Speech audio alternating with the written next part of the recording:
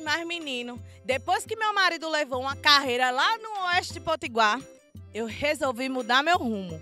Livre estou, livre estou. Troquei o meu chapéu de couro por fitas no cabelo e minha espingarda por uma flor.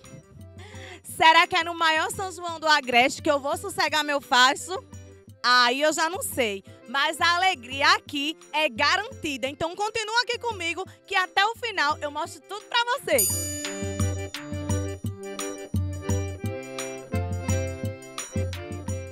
Monte Alegre fica pertinho de Natal. São aproximadamente 39 quilômetros que ligam a capital ao município. E quando chega o mês de junho, a cidade faz jus ao nome. Tudo fica colorido, animado e decorado. É forró, gente bonita e aquele gostinho de receptividade que só o interior tem.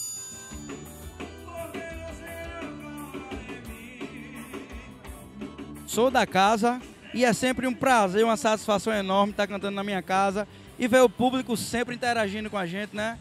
É um coração pulsando a mais de mil. Atenção, minha galera da Tribuna do Norte, aquele abraço, aquele carinho todo especial.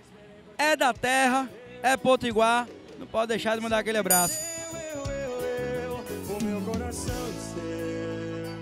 A importância do Monte Alegre Vila São João é de extrema grandeza, né? Porque visa fomentar a economia do município. É um local de, de entretenimento para a população do Monte Alegre. E é uma expectativa muito boa, né? Para que a gente possamos vender bem, para que no final da festa a gente tá com bom dinheiro, né não?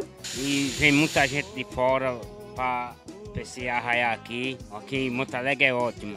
A expectativa não só minha, mas como de todos nós comerciantes, é que seja realmente o melhor São João do Agreste. Você tem meu WhatsApp? Então me chama aí.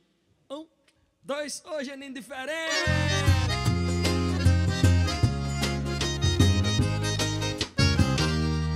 Cheguei aqui, meu povo, me disseram que aqui a festa é diferente, viu? O arrastado começa em cima do trio e o chamego no chão. E falando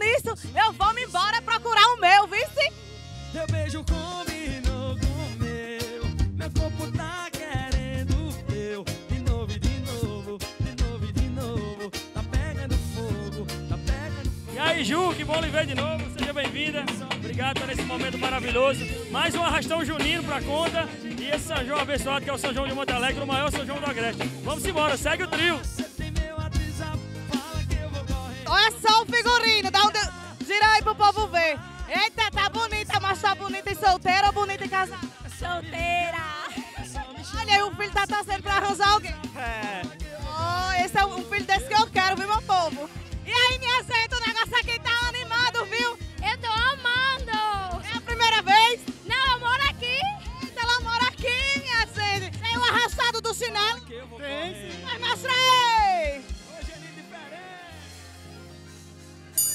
Eu estou aqui com o seu Francisco de Assis.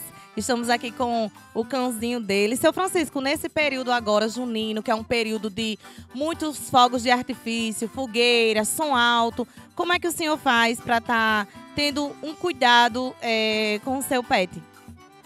Ele fica, ele se assusta com os fogos altos, ele se assusta. Traque. Pois é. Então, o seu Francisco não prende, né? Continua, deixa ele solto, ele fica com medo. Mas vamos pegar agora algumas dicas com a nossa veterinária Bebel, lá da Petway.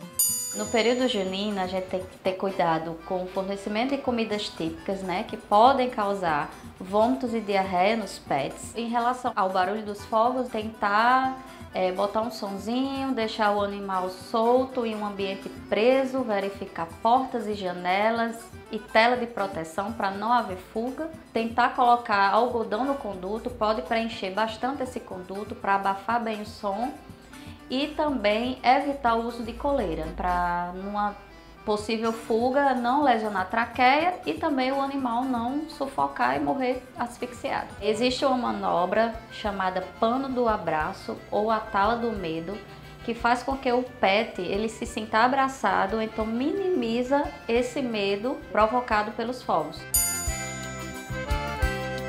Eu sou a flor do mamulengo. Ai, ai, me apaixonei. Por... Pois é, minha gente. A festa acabou, né? Mas as festas juninas ainda continuam. Eu não descolei o grande amor da minha vida ainda mas continua aqui nos acompanhando na trilha do forró, que vem muita coisa boa por aí. Ah, olha só. Me apaixonei por um boneco. E ele neco de se apaixonar. Tchau, tchau!